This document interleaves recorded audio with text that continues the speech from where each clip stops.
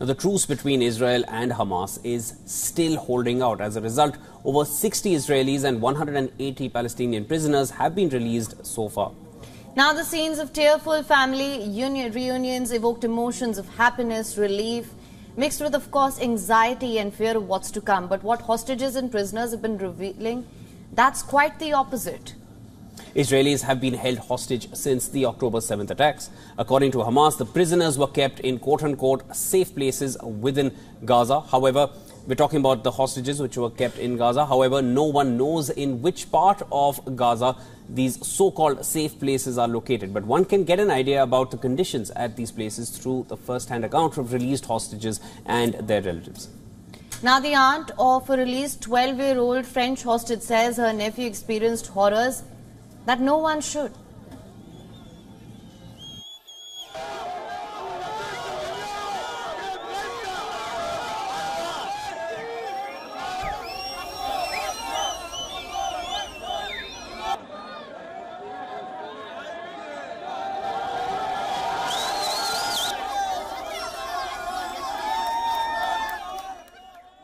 Ethan apparemment a passé des, des horreurs là-bas.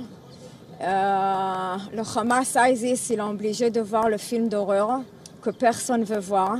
Il est obligé à regarder ça. According to the account by Israeli families, women and children who have been released are sharing harrowing details of being beaten and threatened with death.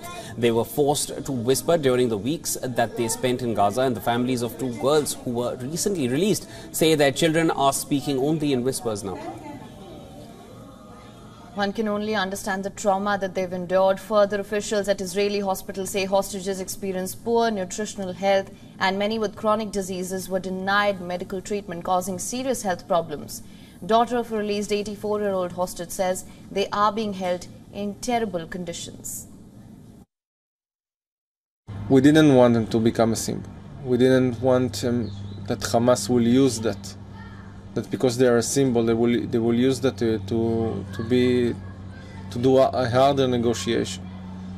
The kids, you don't need to negotiation negotiate about it. They, I, I, I don't know what Hamas was thinking when they kidnapped uh, Kfir and Ariel. What, what, what, what they're afraid of. As per the agreement, Israel has also released around 180 Palestinian prisoners. Stories of Palestinians about the hideous conditions within Israeli prisons are equally terrifying. They have spoken about aggression in the Israeli prisons.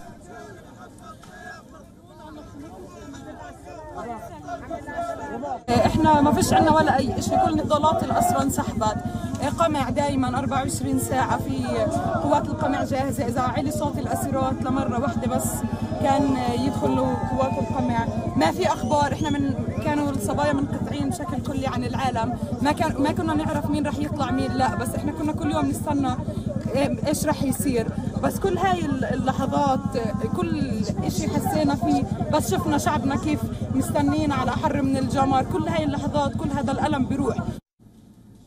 Meanwhile, talks are also underway about a second extension of the truce. If the temporary ceasefire continues for another four days, more hostages and prisoners could be released on both the sides. Israel says for every additional release of 10 of its hostages, the truce could be extended for one more day. Hamas took over 240 hostages from southern Israel in the October 7th attack. WION is now available in your country. Download the app now. Get all the news on the move.